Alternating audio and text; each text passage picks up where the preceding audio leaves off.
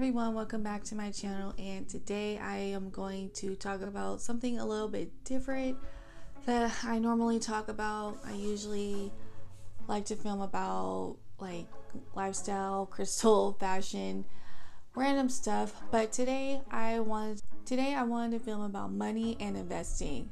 And if 2020 taught us anything, it is the importance of saving money for like not only rainy day but for six months. So i got busy you know over like you know past few months. The summertime is when i really took the time to research different investing savings and budgeting and all of that looking up um, and all of that. But i think you know with the time on extra time on people's hands you know especially back in march and april when there was nothing to do and um, you know people had more time on their hands being home. I used that time to do uh, research like i said with investing and saving money. And a really good reference that i or not just reference but um, if you watch a lot of youtube videos on you know financing finance videos investing but the channel i'm trying to referring to is our rich journey and if I mix up the name, I'll obviously like link it um, or put it on the screen with their correct Instagram, YouTube channel.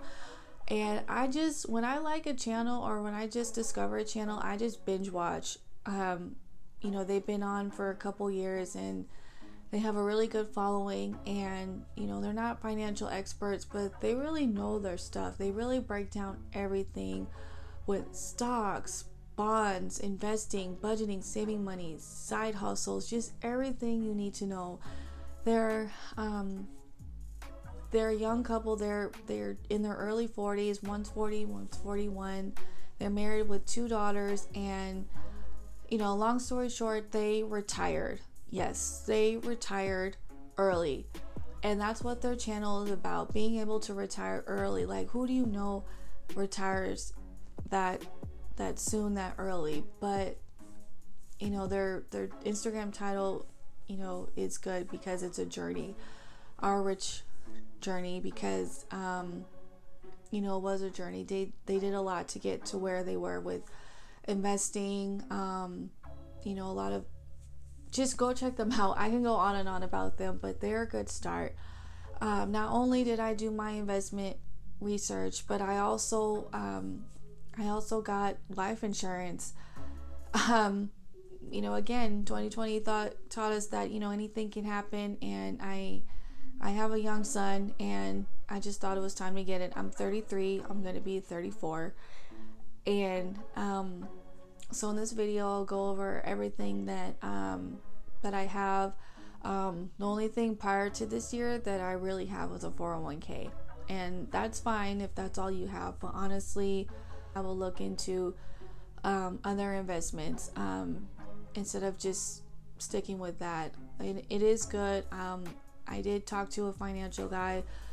Um, my dad actually gave me his phone number, and I talked to him for like an hour. You know, just just to talk to him. Um, I didn't have to pay or use the services. Well, my dad, you know, works with him, but he just talked to me just you know because he knows my dad and my dad you know has been investing for years and i wanted to do the same and he basically told me that 401k is good and um, it's good because it is a common um, in savings investment um, with an employer.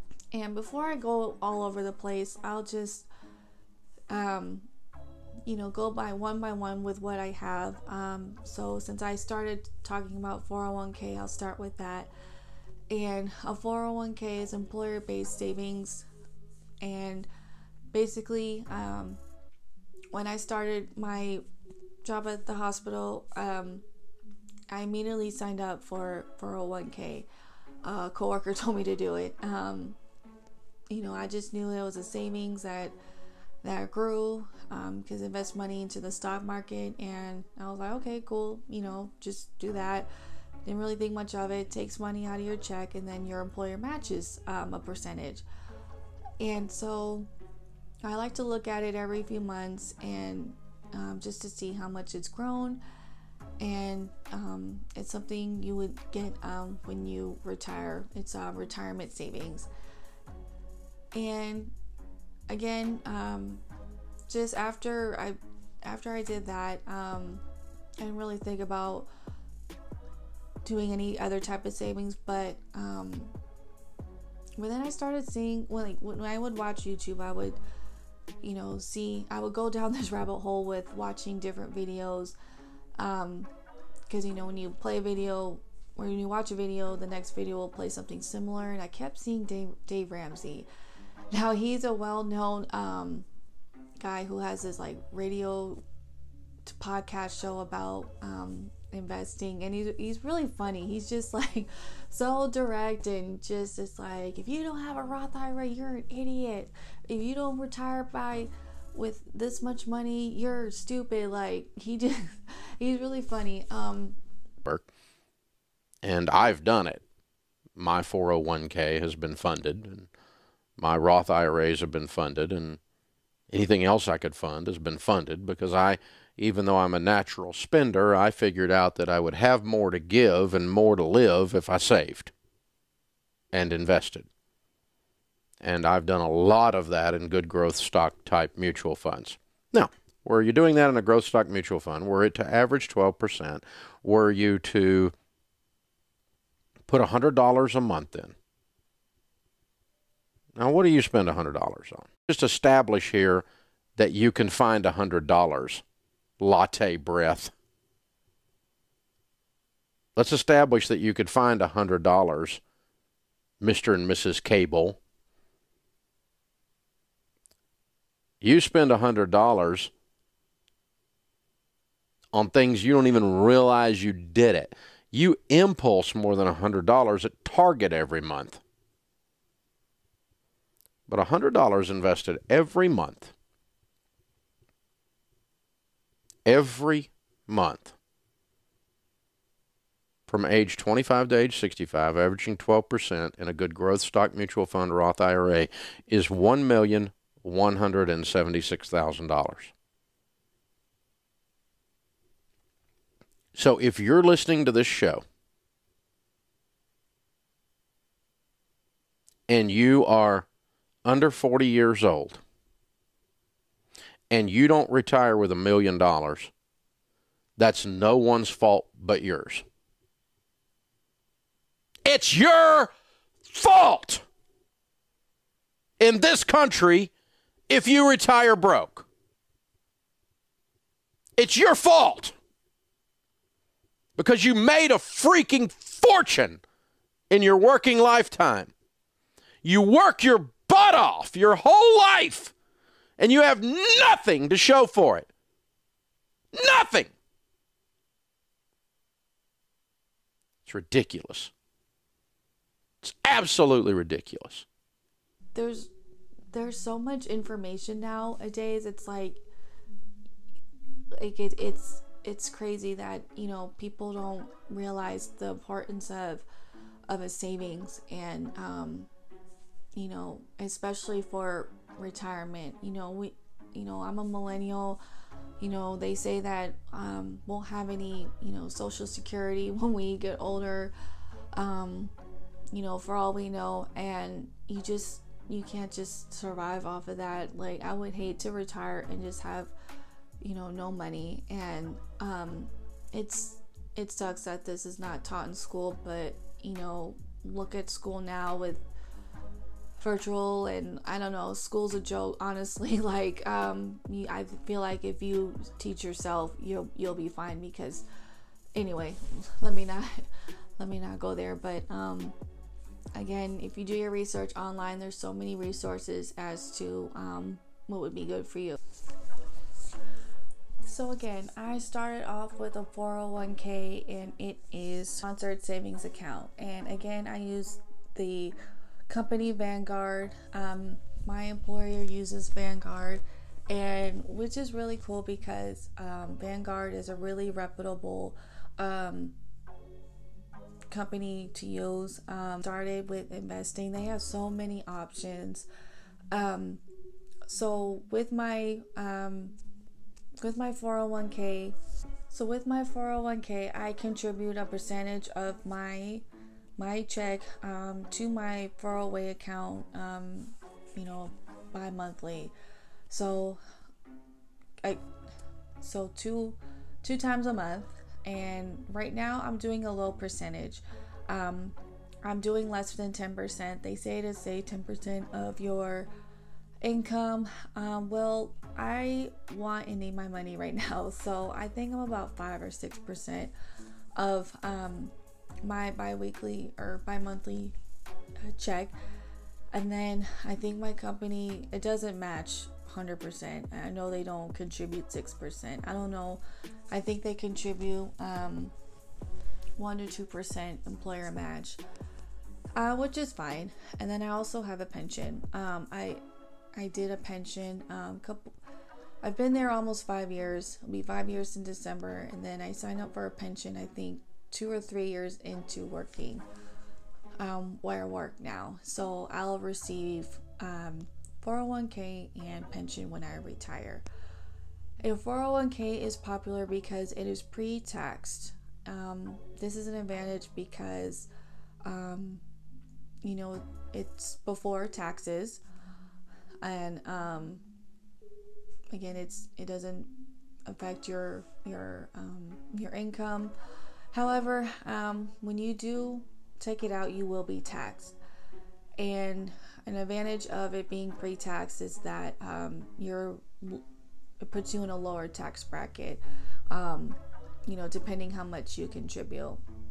Now, again, doing my research these past few months, I always wanted to do a Roth IRA, and I when I talked to my dad's financial advisor, he said you can do a Roth IRA Okay, I have notes, so um, you know I'm not acting, so um, I'm not gonna try to memorize the script. So um, I just want to be prepared, and um, I I'm doing a Roth 401k recently, and so basically when I talk to him and when I talk to Vanguard, I can do a Roth IRA, or excuse me, a um, Roth 401k contribution. It's basically um, it's basically after tax and an advantage of being of saving after tax is that when I take out my money, whether it be for, before or when I retire, I will not be taxed.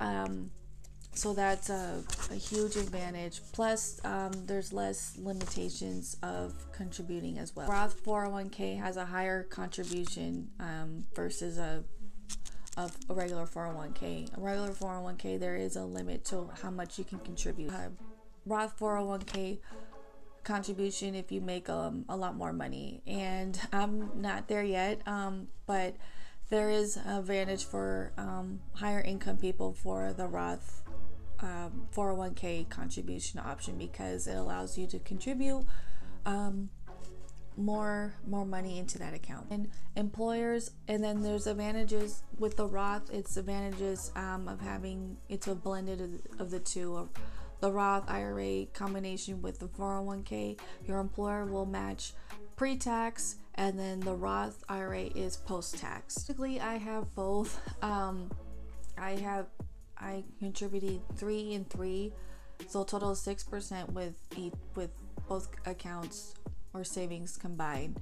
So I have a 3% contribution for the 401k and a 3% contribution for the to the Roth uh, 401k uh, account or savings.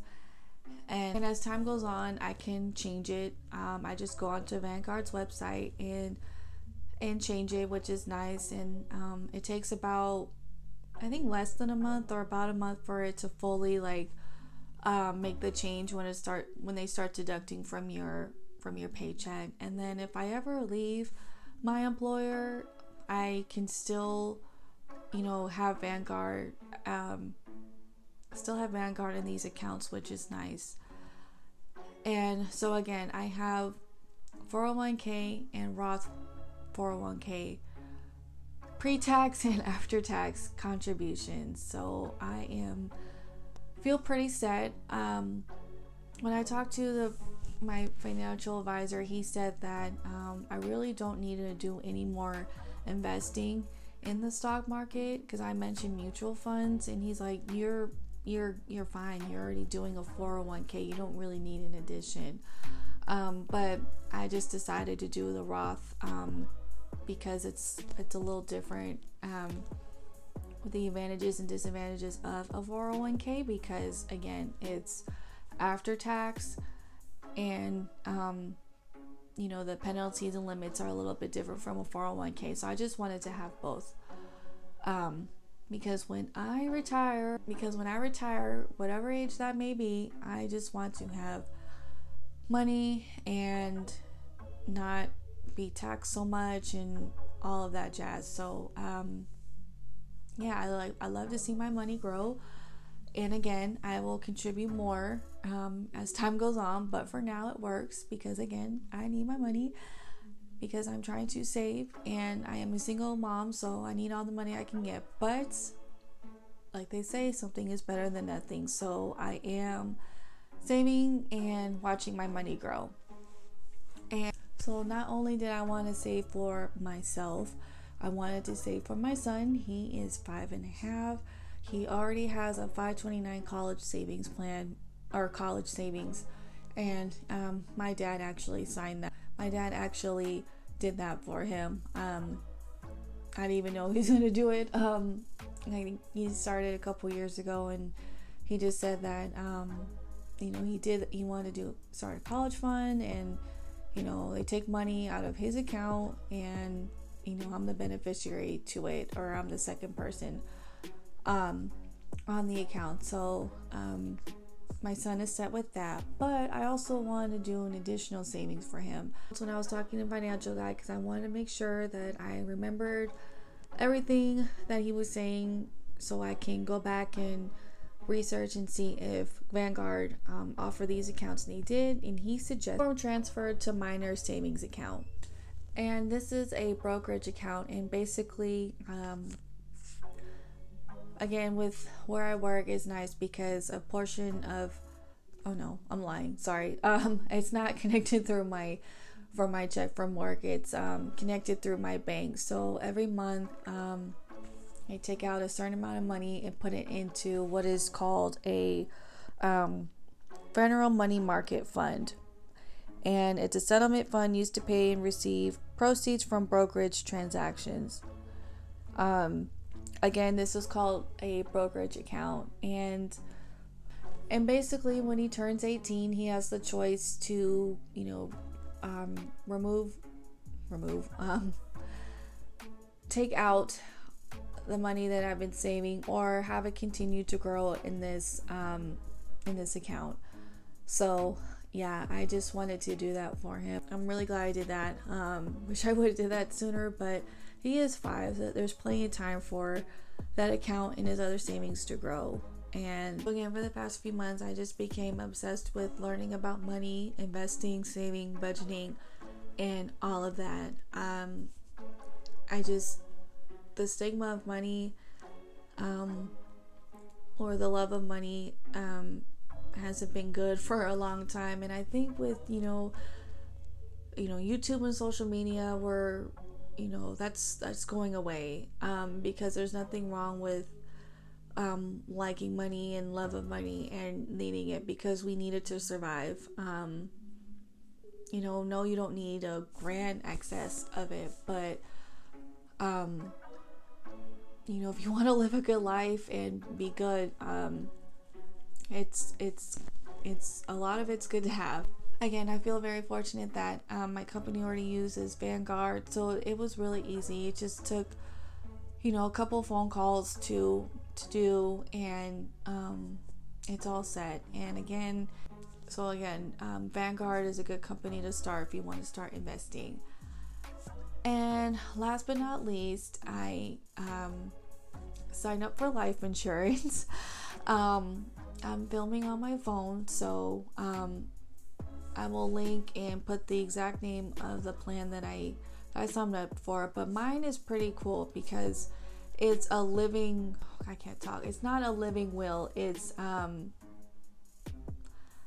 I would receive benefits if something were to happen to me. Um, not when I die, but if um, I became, you know, disabled to where I couldn't work, I would have access to money. Again, um, I will have the exact name of the plan in the description and on the screen somewhere of what exactly that I have. Um, someone I work with, um, their husband does the consulting through it's through Transamerica and um, basically all it took was a couple Zoom calls and um, you know just you know research online as to what plan was best for me and I went with that one.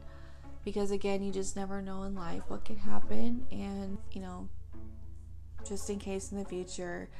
And basically again um, the life insurance plan I, I did was like a living a living like I will receive benefits living not just when um I I die it would be um again I would be set if something were to happen to me where I couldn't work and I would have access to money.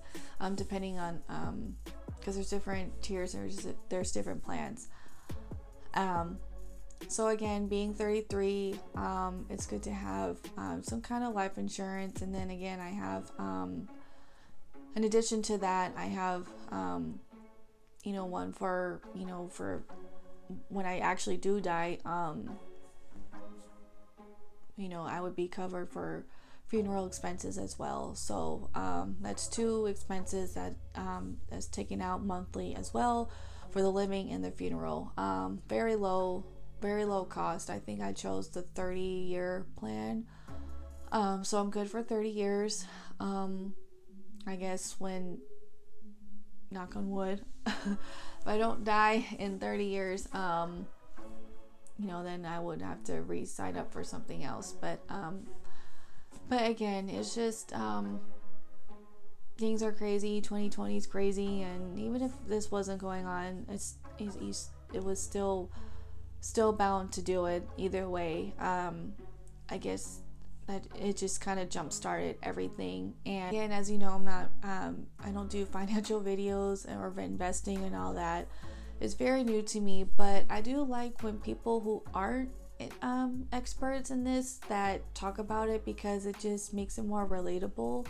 Um, it makes it to where um, you can have your own experience with it and getting started and that it's new new for you as well. Again, um, I am 33, and if you're around my age, younger, old, so again, you know, it's not too late to start um, with any kind of the accounts I mentioned. It's just as long as you save your money to start, whether you're younger than me or older than me. However, younger the better, because obviously your money has more time to grow the younger you start, and um, and if you have kids, get them get them some kind of account as well because um, it's never too early to start with them. Again, I hope you enjoy this video with um, my different investment accounts and what I've done um, these past few months.